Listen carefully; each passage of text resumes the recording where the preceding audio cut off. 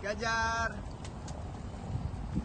Presiden Joko Widodo mengundang tiga bakal calon presiden yakni Anies Baswedan, Ganjar Pranowo, dan Prabowo Subianto untuk makan siang di Istana Merdeka Jakarta Senin 30 Oktober.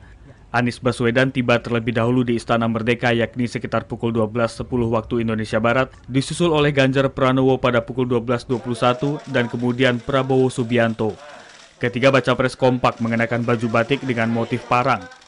Sementara itu, menu yang disajikan istana meliputi soto lamongan, ayam kodok, bebek panggang, udang goreng telur asin, jus jeruk, hingga es laksamana mengamuk.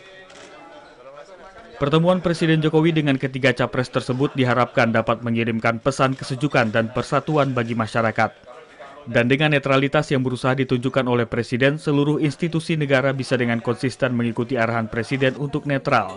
Dari Jakarta, Afra Augesti, Yogi Rahman, Kantor Berita Antara mewartakan.